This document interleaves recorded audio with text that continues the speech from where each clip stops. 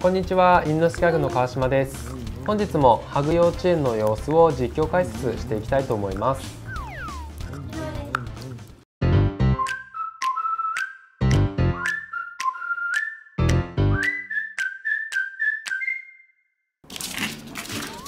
はい、えー、触れ合いの様子ですがもうくまちゃんが嫌いなんですよね。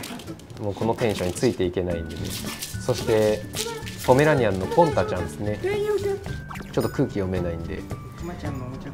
なかなかこうくまちゃんのあれが遊びだと思ってしまって。はい、これくまちゃんの2番目にお気に入りのおもちゃらしいんですけど。こっちではちょっと興味示さず。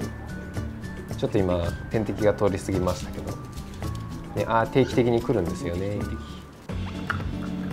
はいで、えー、今回は、えー、ビーグルのウーノちゃんですね。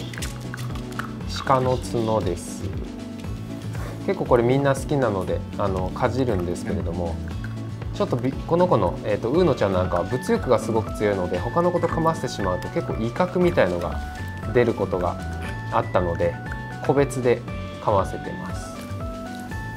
ちょっとね物欲が強い子なんかはあの与えっぱなしにするとそういうのが出たりするので必ず人が持ってる状態で噛む時間を決めてあげると、えー、そういった行動が出にくくなります。